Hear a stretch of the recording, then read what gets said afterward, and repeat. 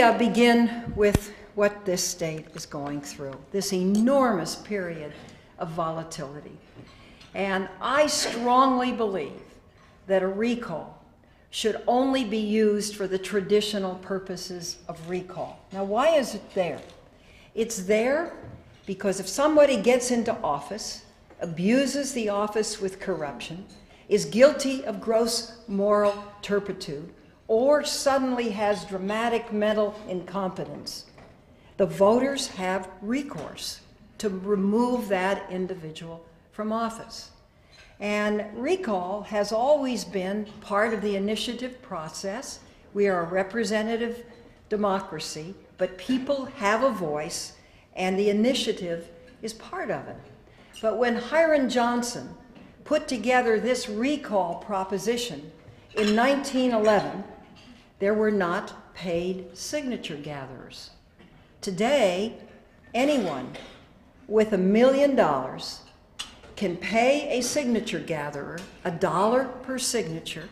There are professional companies that do that, and they can virtually put something on the ballot. And that's what happened here. So now, nine months after an election, after electing a governor subsequent, well subsequent to the energy crisis, for political reasons, the recall is going to be used to recall a sitting government who had, where none of the factors traditionally used for recall are present. I believe it's wrong. I believe it has a lot of unintended consequences.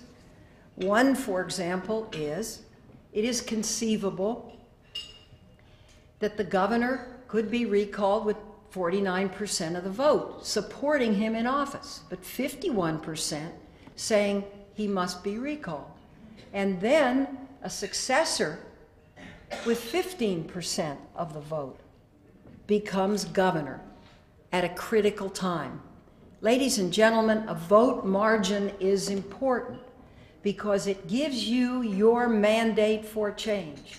Your votes are your instrument of power, people that you represent, whose values you take into a governor's office or into a United States Senate and affect public policy based on the power of that vote. And this individual won't have it. This individual will have a bare plurality and may well be facing an assembly and a senate of a different political party. What kind of mandate for change is that really? And once recall becomes a concept which can be used to remove people from office because you don't like one thing or another that they did, then it will be used again and again and again that way. So, my challenge is to say to the people of California vote no on this recall. It, you can see as you listen to the dialogue, you don't hear solutions to the structural deficit. You don't hear solutions to a workman's compensation trust fund that by the end of next year will be a billion dollars in deficit. You don't hear real ideas coming forward. And that's why this short period is really not an adequate test. I've been in four statewide elections. I've been in 58 counties of this state. This state is different in various areas, and one has to be able to have knowledge of a high tech community, of an agricultural community, of an environmental community, of ranchers, of cattlemen, of dairymen, um, of businessmen, of citizens, of the educational differences that we have in our schools. And you can't see that this individual, in this short of time, whomever it might be, would have those abilities or that knowledge. So, my best advice to everyone is vote no on recall. Now,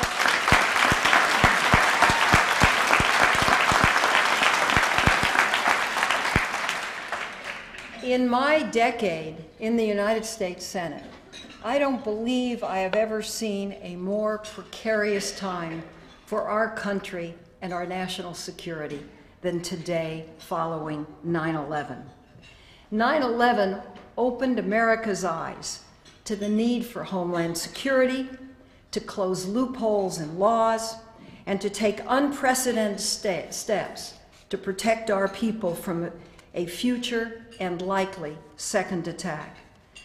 Back in Washington, and Ted mentioned that I'm the ranking member on the Terrorism and Technology Subcommittee and a member of the Select Committee on Intelligence. I've had opportunity on a daily basis to review intelligence briefs uh, that come in, and also the opportunity to work to close loopholes in our nation's security. And I'm very pleased to tell you that we have passed uh, three major bills. The first is the USA Patriot Act.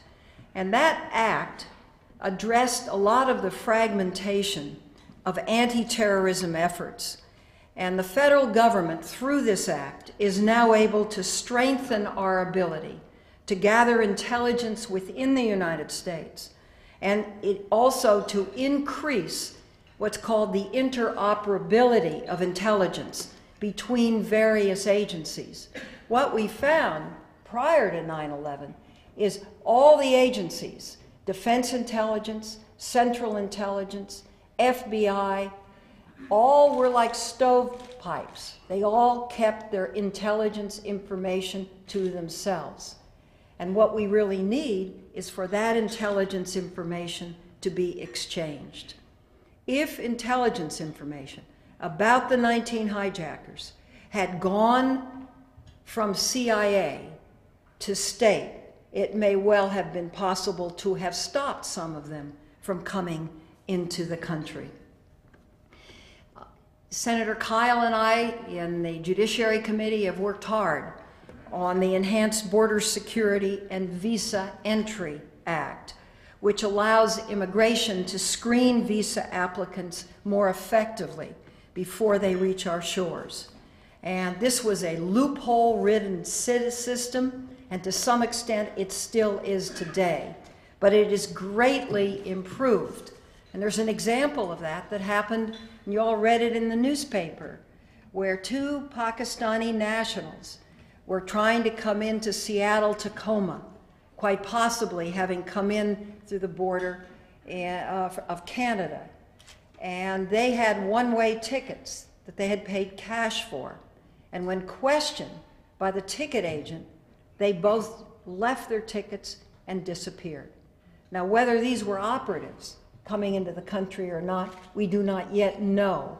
But the point is that they were on a watch list and someone picked it up. Now we learn from that. We have to move faster even than that. But we will learn and we will do this.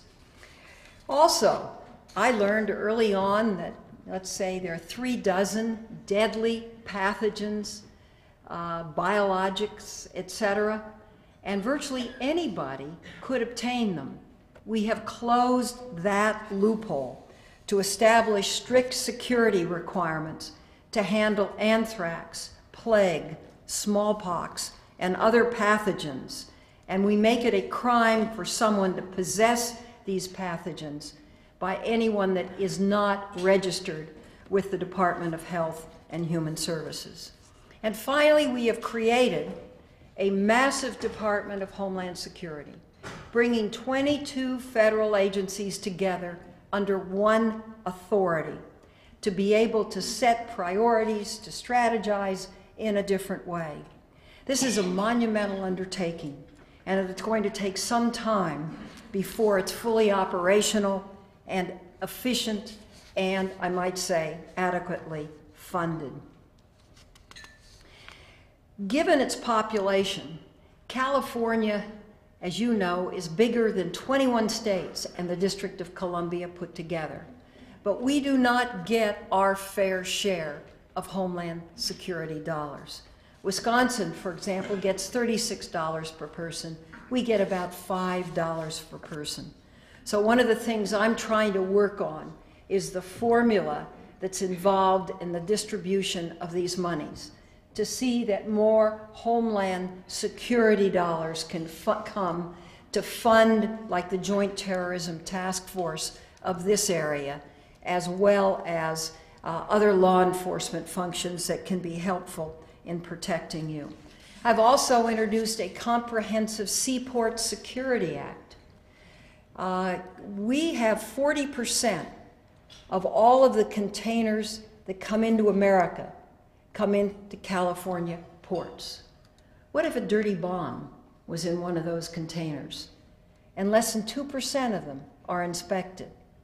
So, what is happening, and what many of us are trying to push, is to push our borders out.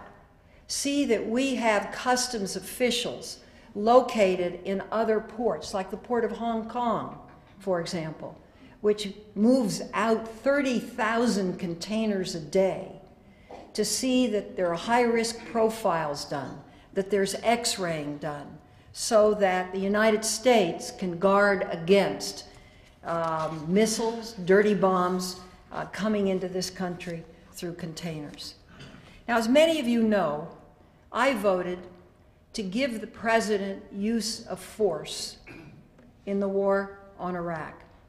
My yes vote was along with 76 other senators, and it was largely due to my position on the Senate Intelligence Committee that enabled me to review the intelligence that led me to believe, as it did three quarters of the United States Senate, that Iraq, in fact, had weapons of mass destruction, biological and chemical, most likely not nuclear, we believed, and had quite possibly deployed them. They were weaponized, they were deployed, and even the commanders had been given the order to use them. I recently reread the classified version of the National Intelligence Estimate, and again thought with the diagrams, uh, with the locations,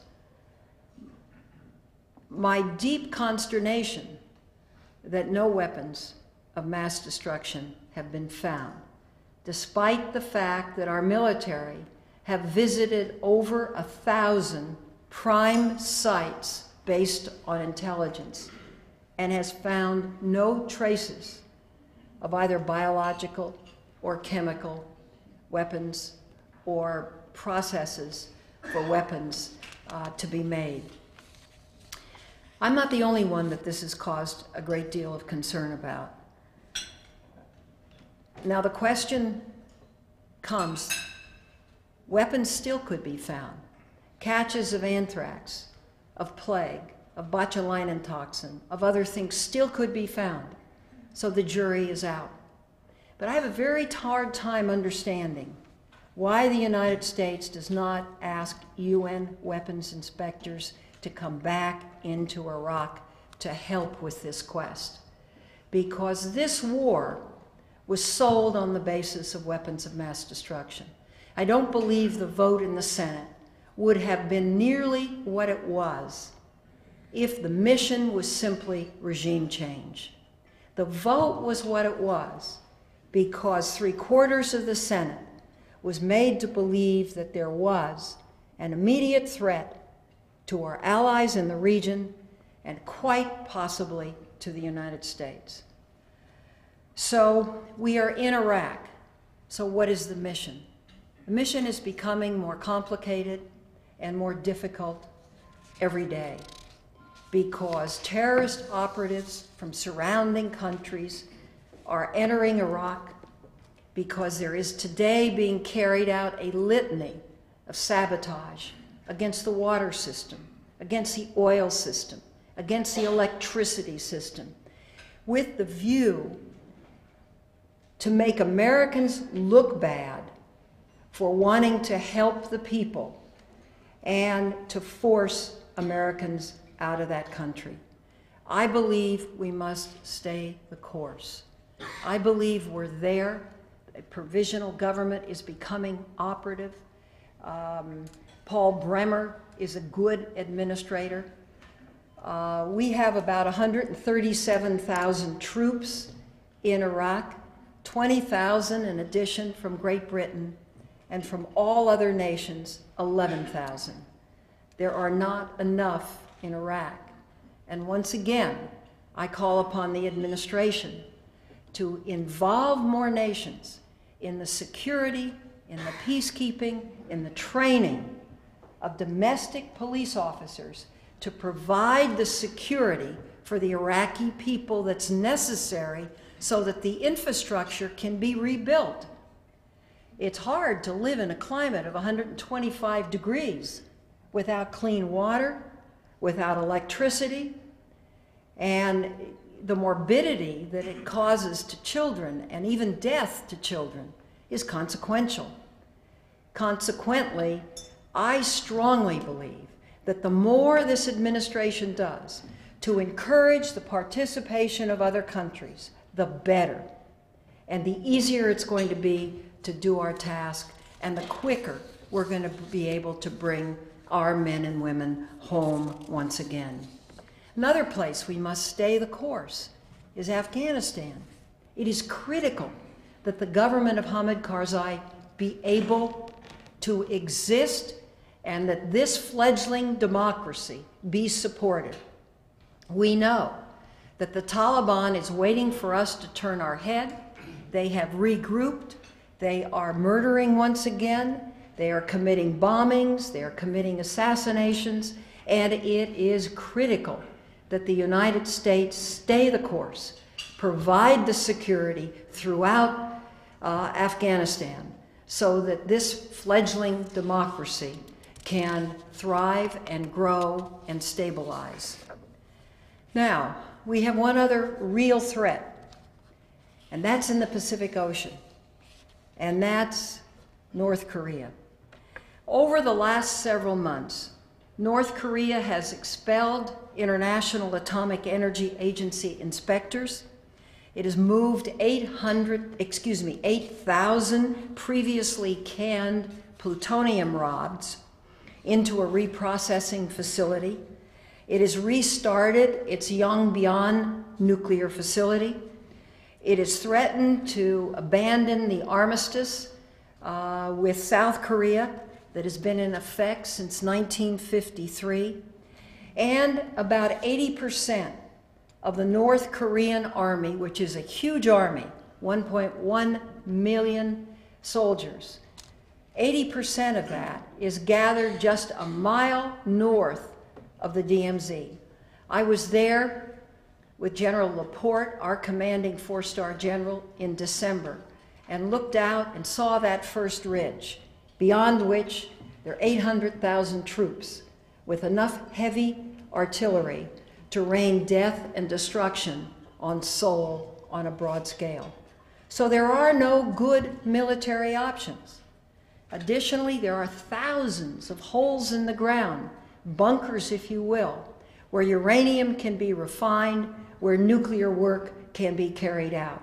And we don't know where this is. Consequently, the art of diplomacy, the art of negotiation, is critical to solving this problem. And whether it be multilateral, or whether it be bilateral, to me does not make a difference.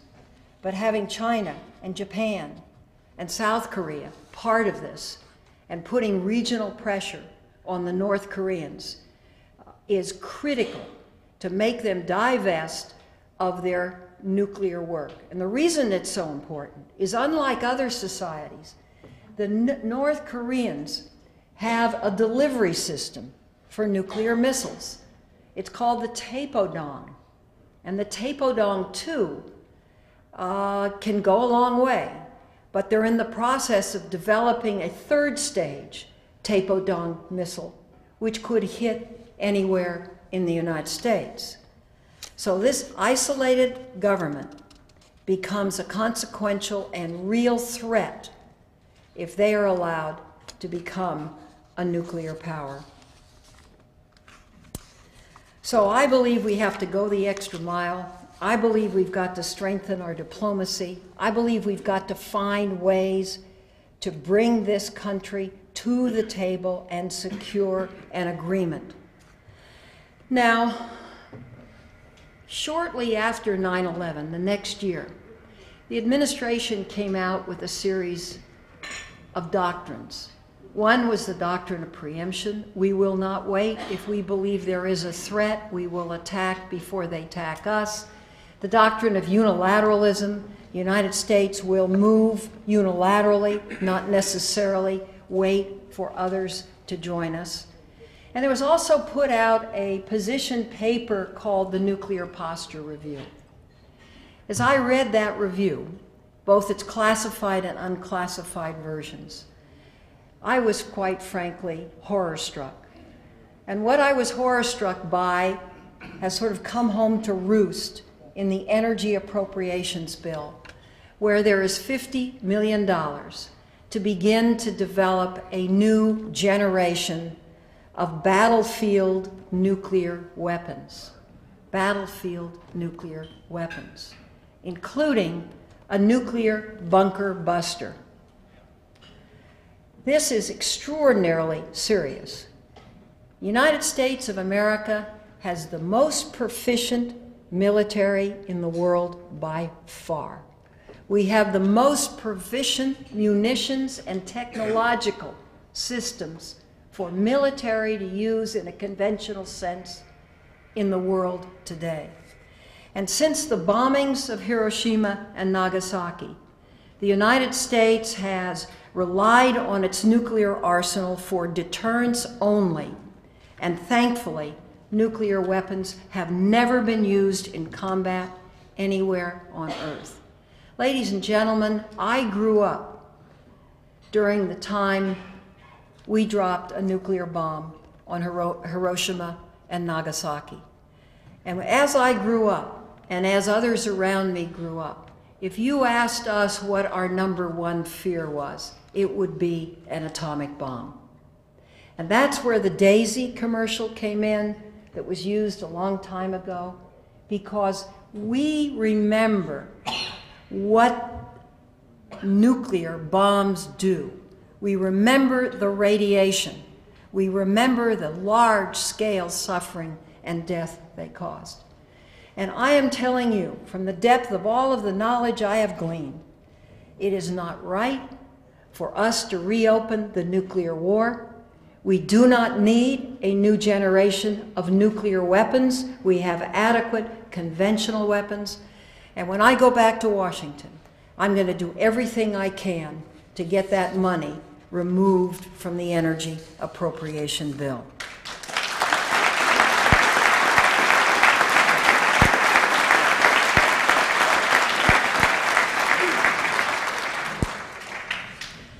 Now, many of you know that there have been two major tax cuts.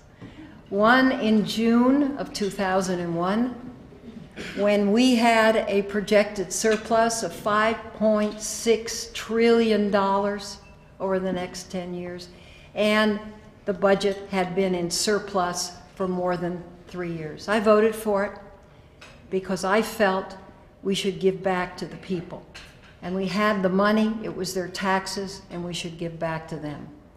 Since the recession, since 9 11, since the drop in consumer confidence, since the explosion of corporate scandals, since the international uncertainty, the economy has gone in to a form of recession.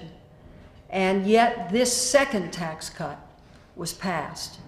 We have a huge federal budget deficit of $401 billion using Social Security trust funds. If the Social Security trust funds were not used to balance the budget, the deficit would be $650 billion. This is extraordinary. And over the next five years, if we keep going the way we're going, the federal government will accumulate $1.9 trillion in new debt. So I think very strongly that what I should do to represent you is everything I can to bring this budget back into balance. And this is not going to be easy to do. I have one little pamphlet. I don't know if you have it in front of you, but if you do, it's on the economy. It looks like this. If you just open it to the center for one second, I want to show you one series of pie charts which will give you an idea of what we're up against. On the left, you see a 1993 budget breakdown. Does anybody know what entitlements are in the federal government? Anybody? Social Security, Medicare, veterans benefits, Medicaid, welfare, and they're called entitlements because if you're entitled to them, you get them. You can't cut them in a budget. They are there, and they are constantly growing. If you look at 1993, the, the, the, these pie charts are in outlays. In other words, what the federal government actually spends a year. You will see we spent 50% of everything that was spent on entitlements. You'll see this year we spent 57%. You'll see interest on the debt, you'll see defense, and you'll see every other federal department justice, interior, education, health, all the other departments, 19%.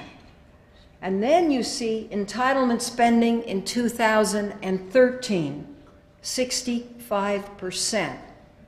If you add interest on the debt, 70% of everything the federal government outlays in 2013 cannot be controlled. That's the dilemma. And most people don't ever speak to this, but it's one of the reasons why we've got to make Medicare more efficient. We've got to have things bid. And we've got to change the Social Security trust fund system before it goes belly up as well. So this, I think, is a very definitive document when you talk about the budget to see how extraordinarily difficult it is uh, to make the necessary changes. Ted also mentioned that I have introduced the corollary to Jim Oberstar's um, infrastructure uh, plan uh, called Rebuilding America in the Senate. And what we have done is authorize $50 billion over the next 10 years to build infrastructure. Every billion dollars you spend on transportation is 40,000 40, jobs. It's the biggest thing one can do in terms of priming the pump. And God knows here in California, with the clogged freeways and the gridlock and the inability of people to get from their home to the workplace. This is a prudent expenditure of money. And the way we would fund it is we would crack down on abusive Enron style tax shelters, and we would prevent American corporations from avoiding paying United States taxes by moving to a foreign country. First, thank you for co-signing the amendment to increase NIH funds in the fiscal year 04 Labor, Health, and Human Services Bill.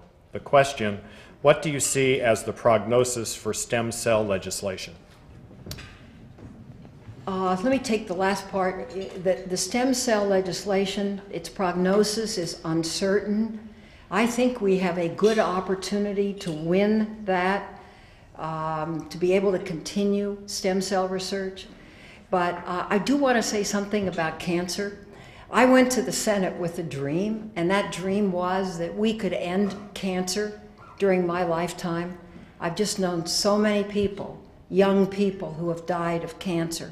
So this has been kind of my special health area. And with the human genome, ladies and gentlemen, and with the advances in molecular biology, it is now possible for scientists to target drugs just to the bad cancer molecules. Molecules. And therefore, the drugs are inordinately effective and there is no toxicity. There's no nausea, your hair doesn't fall out. Um, there's one drug, Gleevec, um, and they've given it to people. It's for myeloid leukemia. They've given it to people in hospice dying. Within 12 hours, the disease was reversed and the individuals walked out. It has like a 90% success rate. That's the way to go. And so, what I wanted to do was increase the budget so that the present level of research grants could continue to be funded with an emphasis on developing more of these targeted drugs. Because I truly believe that if we're able to allow science to use what they've learned in molecular biology and through the development of the human genome, that we will be able to see cancer in full remission within my lifetime. And I am not that young, so what a goal that is.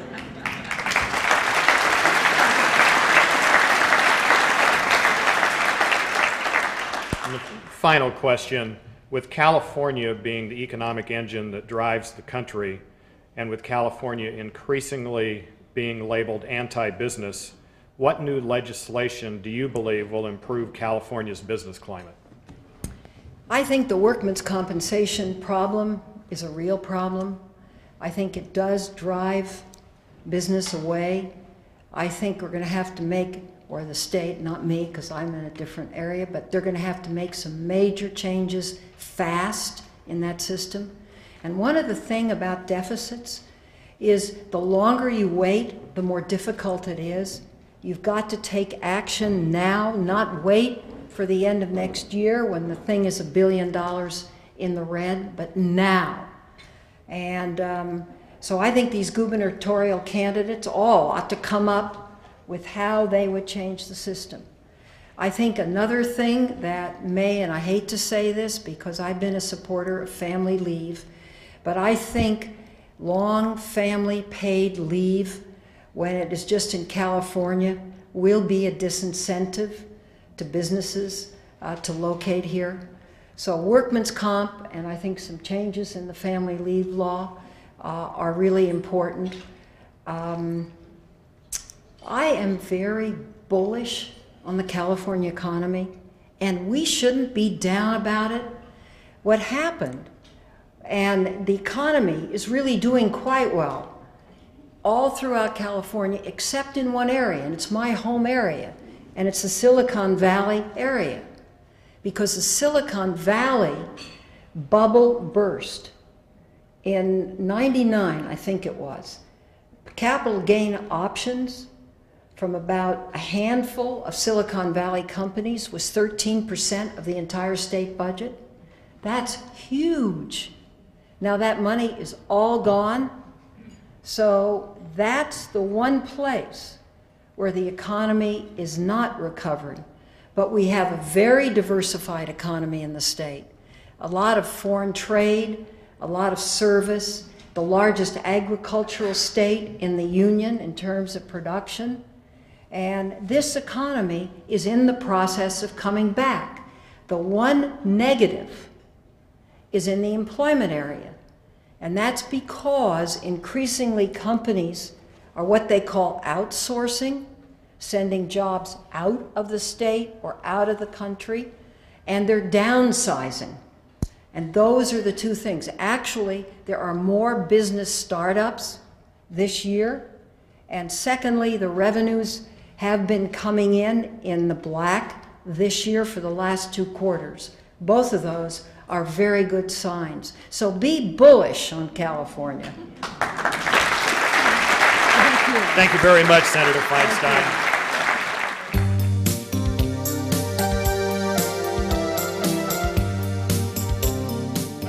What a great turnout. I am so honored and pleased, and this is a great month for you to come together because, as you well know, on August 28, 1963, more than 200,000 Americans joined together to march on Washington. They were demanding that our nation make good on its historic pledge of liberty and justice for all people. It was, as one reporter then noted, quote, the greatest assembly for the redress of grievances that this capital has ever seen. At that time, I was a newlywed. You can figure out how old I am, right? I can see it, but you already know that. And I watched all of this unfold on television. And for the people who were there or the people who watched it on TV, it was a transformational experience because the words of Martin Luther King about his dream and about his vision spoke for so many of us who believe that our nation will only reach its full greatness when every single person is honored and respected and given the chance to rise to his or her full potential.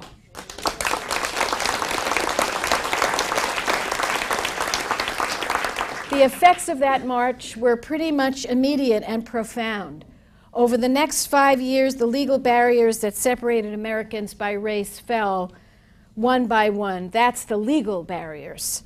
The nation had a new burst of freedom, and people woke up to what was happening in the country. Uh, they woke up to this dynamic civil rights movement. They were mourning the loss of a young president who believed in civil rights, but they turned that into uh, can do legislation. The Comprehensive Civil Rights Bill that passed the year later. By 68, there was equality in our laws demanded in housing, education, employment, voting, and public accommodation. And we have more work to do in these areas, but it was an amazing burst of legislation that made great sense. Now, clearly, we know these laws didn't solve all our problems. We are here quite often uh, getting together to solve those very same problems. But, but we know that it is crucial that the law lead the way. The hearts and minds we know will follow, but the hearts and minds will never follow until the laws are just. Isn't that a fact? So, as I think back to those days, I think of why I love my country so much. And I wear my little heart my red, white, and blue heart. And when you love your country, you want your country to live up to its potential as well. And it's why I remain in this arena, even though, as you well know, as my friend Nancy Pelosi says, it is not for the faint of heart. Um, thank you. Thank you, Christine. I decided I wanted to do a little exercise of my own, and I would recommend that you you do this sometime this summer. Just take a pad and a pencil and write down uh, what has made this country great. I mean, it's a wonderful thing to do because it will, will take you to interesting places. And so, in my little exercise, this is some of what I came up with, and it is not certainly a completed list, but it's what I wanted to share to, with you today. Uh, what has made our, uh, our land, our America, so great? And I think it does start with the land. Sprawling country that stretches from sea to shining sea, and as the song says, from the redwood forest to the Gulf Stream waters. Uh, we appreciate uh, the legacy of the environment. And here's the great thing uh, the environment, up until now, in my view, has been protected in a bipartisan way. It was Richard Nixon who created the Environmental Protection Agency, and yet we now have to fight to keep it strong and keep it independent and keep enough people on board to enforce our laws. Um, what else has made our country great in, in, in addition to respecting and, and honoring uh, this environment? Our people make the country great. I look around this room and I see uh, diversity and openness and tolerance and, I see brave and energetic people and, and people with daring and people who savor uh, new adventures. And I see entrepreneurs who are creating jobs going where, you know, a lot of people are afraid to go and, and researchers finding cures for illnesses that plague our families and teachers dedicated to our greatest resource, our children. and volunteers in all areas of life. Uh, and of course, young men and women putting their lives on the line, their lives on the line for this great nation. Um, those are more of the things that make our country great.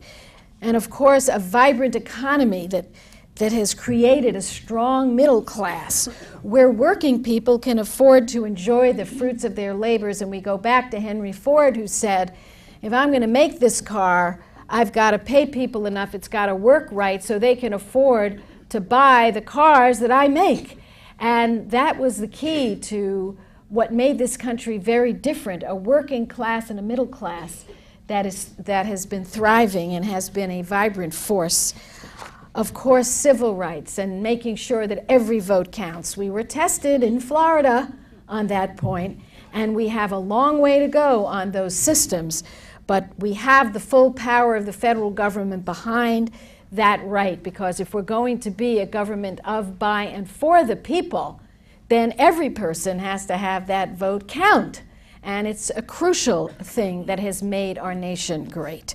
Uh, I have to tell you, when I see the public education system under attack, when I see every story is how bad it is, and yes, there are problems, I want to combat that because I go around the state giving out the Barbara Boxer Excellence in Education Awards, and you would not believe the fabulous success stories we have out there. But we have to stay with it. Yes, we need accountability. Yes, we need tests. I'm all for it. But yes, we need to fully fund Leave No Child Behind. Or I'll tell you, the promises that were made to our children simply will not be kept. And I wrote the after school piece there.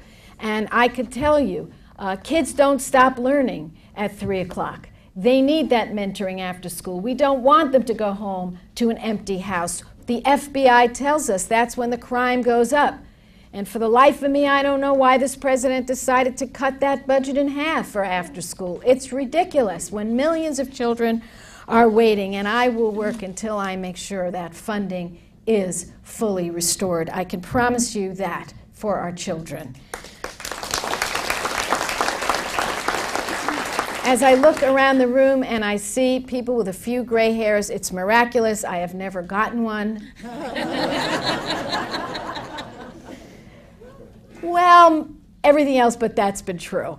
Uh, what else has made our country great is an amazing social safety net for our elderly, Social Security and Medicare. And it helps our younger people too because the moms and dads and grandmas and grandpas are not a burden. They can live their life in dignity. They pay into a system and they get out what they put in plus an amount which allows them to live in dignity. And that is under threat and that is under assault. Uh, something else that has made our nation great uh, the right to privacy uh, protecting a woman's right to choose.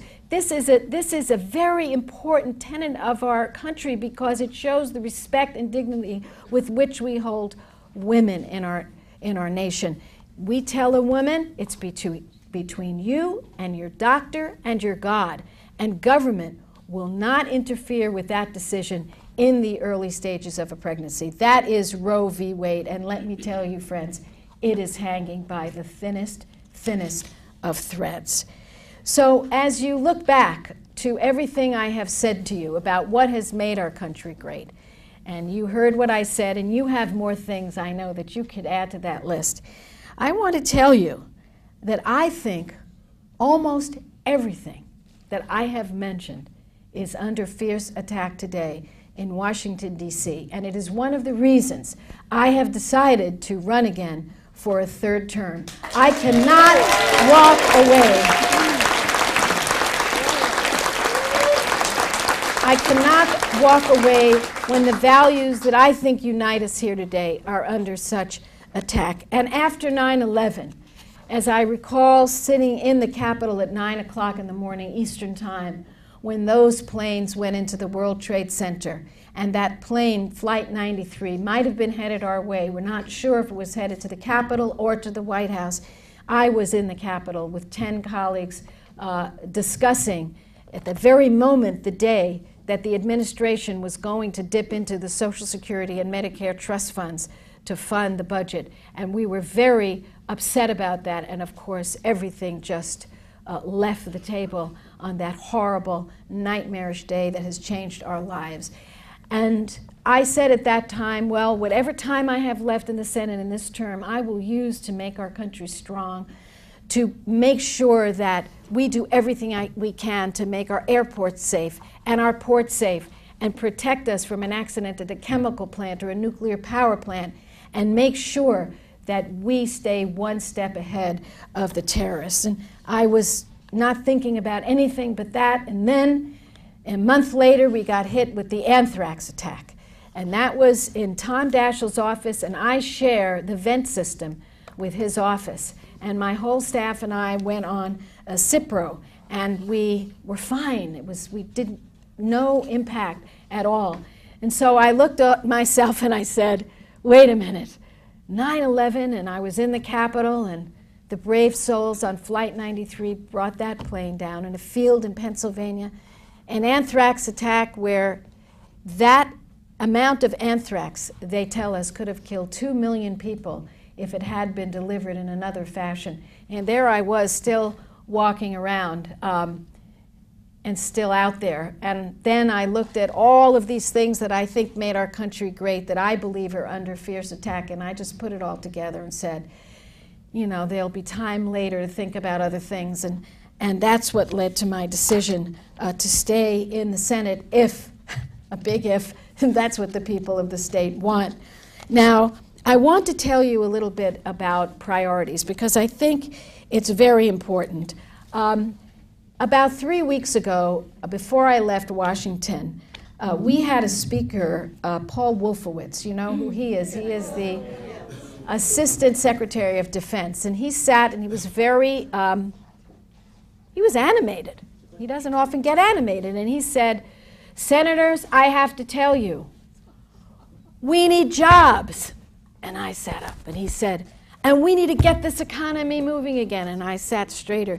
And he said, and we need education system, and we need a healthcare system, and we need reliable electricity. And by then I was ready to embrace him, and he said, in Iraq.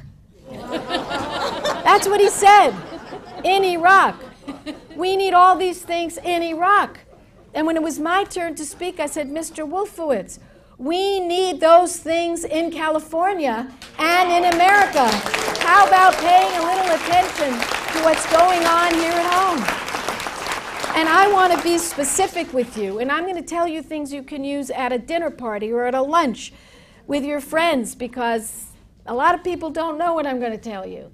And that is when you hear that we're spending $45 billion a year in Iraq, you and I know that's a huge amount of money but I want you to put it into a context. So I'm going to give you some numbers.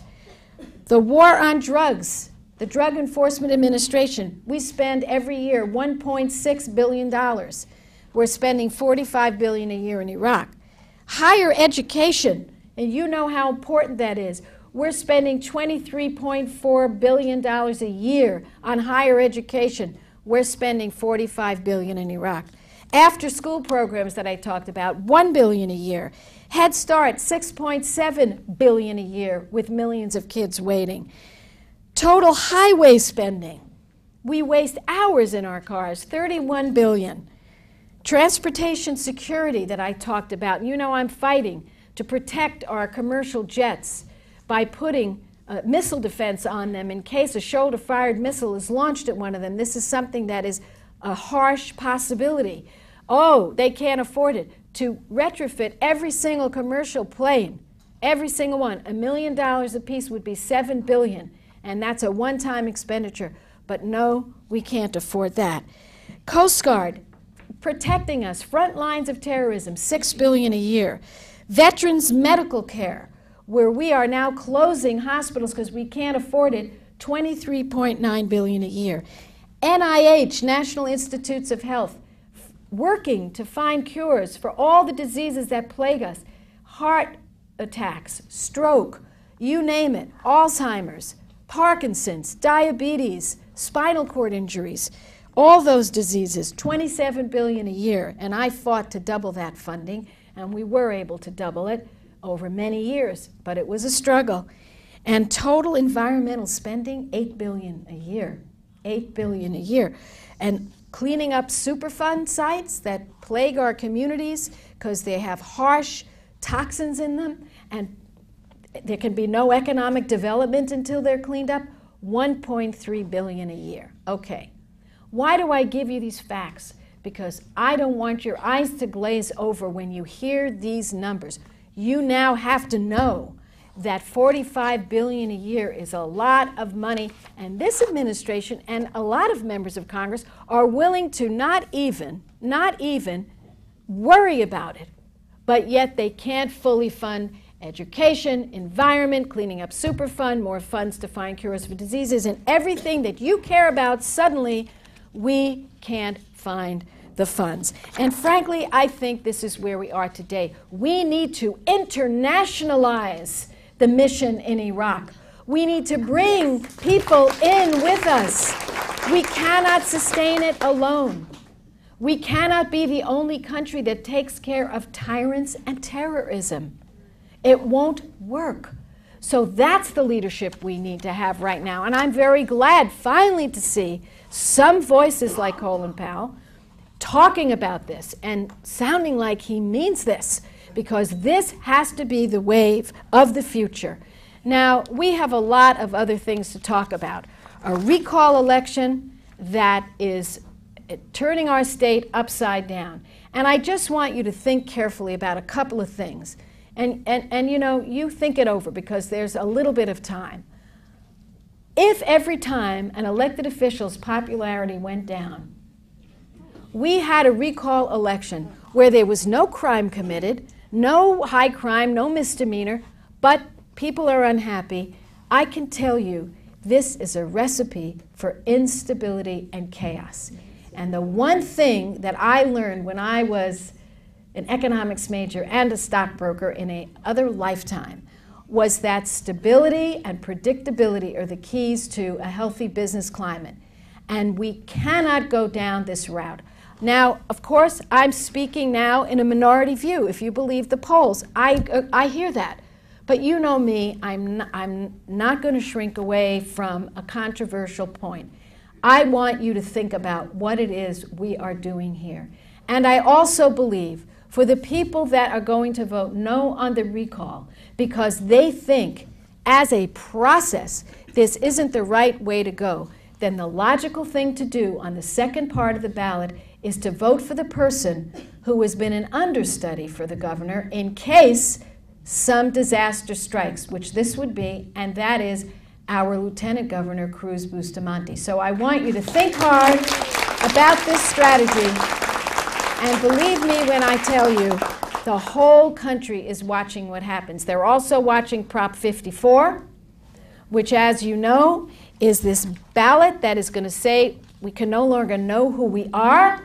I want to say to Ward Connerly, I'm proud of who we are, and I think it's good to know the makeup of our population because just on health care alone, and this is a fact, this could cripple our finding cures for diseases because we know that our differences take shape in various gene differences and various disease differences. And we can now know because we have detailed information that, for example, white women get more breast cancer than, than black women get, and Asian women suffer different diseases than white women, and so on down the line. We can learn from this. And why anyone would want to stop that from going forward is beyond belief. And I hope we'll reject this because it doesn't make any sense for us, for our state. And I'm proud to know who we are. I think it's exciting. I think everyone looks to California because of our greatness of diversity, and it's exciting to know uh, who we are and where our future is, is headed. So, with all of these controversial things that I've talked about today, I'm sure you have many questions. So, let me say in closing, uh, I am exceedingly proud to be here with you. Uh, when Nelson Mandela was trying to awaken his people to throw off the shackles of apartheid, he quoted from a poem, and this is the essence of what he said. And I want you to think about this. He said, I know it isn't your weakness that you fear, but your power. And what he meant by that is we may say we're afraid because we're weak and we can't bring about change. But the truth is, we are strong, particularly in this country of America. We have power to change things for the better. So even though sometimes we're afraid of that power, because maybe we're at a party and somebody says something and you know it's wrong, but gee, I'm not strong enough to, to discuss this. I hope you'll think about what Nelson Mandela told his people. And I hope, because I know how what leaders you all are in your communities. We've got elected officials here and community leaders here, all of you. And I want you to think about the power that you have to take your well thought out position, whether you agree with mine or not, doesn't matter to me, but to get out there because this is our country, this is our state. It is up to us to make our state and our nation as great as they can be. Thank you so very, very much. Thank you. There was a general list of questions, I have quite a few here, that speak about the need for Democrats to speak out more in regard to the activities of the administration. How do Democrats do that and prepare for the next presidential race? Well, correct me if I'm wrong. Am I a Democrat? Okay. Did I speak out? Could I speak out any stronger than I did? I don't think so. I think for those who are paying attention, they are hearing the message. The message is we have lost 3 million jobs in our country. That is the worst record in 90 years. We had a surplus in our country three years ago. As far as the eye could see, it's turned into a deficit as far as the eye could see. We are into these commitments now, taking on our shoulders the tremendous burdens of the world and not really getting enough people to share the burden, and that is further stressing us and we will not be able to do the things we need to do for our children's education and prescription drugs for our seniors, and making sure that we can, if we have to, uh, give incentives to small business because those are the, uh, the real producers of the jobs. We will not have the resources the rate we're going. So I think you're going to hear, as we get in closer to the election, you're going to hear more of a consistent message. We have challenges, but I'm very optimistic that we're going to break through. And I'll tell you why because I believe the people know what's going on in their communities. The people feel the anxiety. I met a guy the other day, he's in retirement, he's doing just fine. He was one of the lucky ones, he didn't have that much in the stock market. So he was okay. He invested in government bonds. He said, You know, my life is great, Barbara, but I'm worried about the world. And I can't even really go out there and, you know, enjoy my life now because I'm worried about the state of the world. So I think a message is coming forward, and I think you're going to hear it, and I think that thinking Democrats, Republicans, and independents are going to get that. Thank you very, very much for the chance to be with you.